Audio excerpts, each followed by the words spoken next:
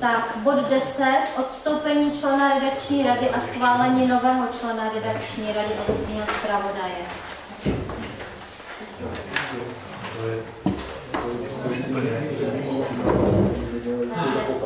Magistr Jindřich Surala písemnou rezignací na funkci člena redakční rady zpravodaje Kostka, vydávaného obci Kostelec u Holešova.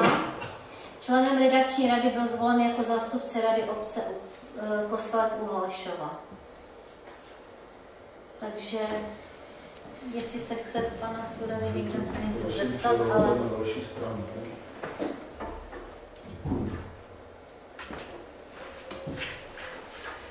Asi nemůžeme nutit, eh, když eh, někoho do něčeho.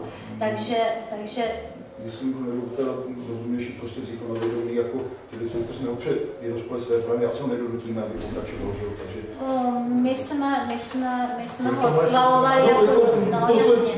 To není proti ničemu, no, ale prostě je to takový, prostě rozhodl se, takže my to, my to vezmeme na vědomí a My Přesně jsme, ho, my jsme ho navolili, když jsme, když jsme vlastně, od, eh, když eh, se zarezignovala paní, paní Andrejková, tak jsme to podobným způsobem schválili, takže já bych taky eh, jako toto, eh, toto usnesení zase odešel, to vy si to děláte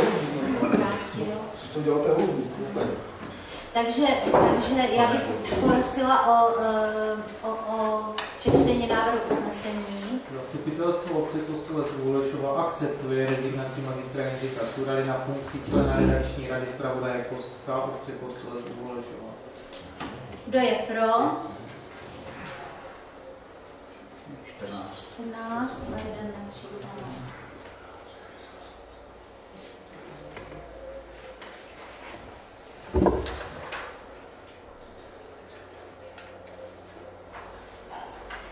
Tak. Další bod je Rada obce navrhuje schválit za člena redakční rady zpravodaj Kostka vydávaného obci Kostelec u Holešova, zastupujícího v redakční rady zpravodaj Kostka radu obce Kostelec u Holešova, mm, bakaláře Zdeňka Klesnila. Eh, Zdeněk Klesnil s tou nominací eh, rady obce souhlasil, takže bych zrovna dala přečíst usnesení. Zastupitelstvo obce Kostelec u Holešova schvaluje člena redakční rady eh, zpravodaje Kostka Zdeňka Klesněla. Kdo je pro?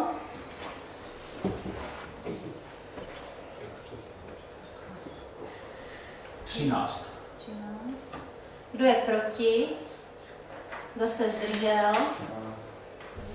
Ne, takže 12 a 2 se zdrželi.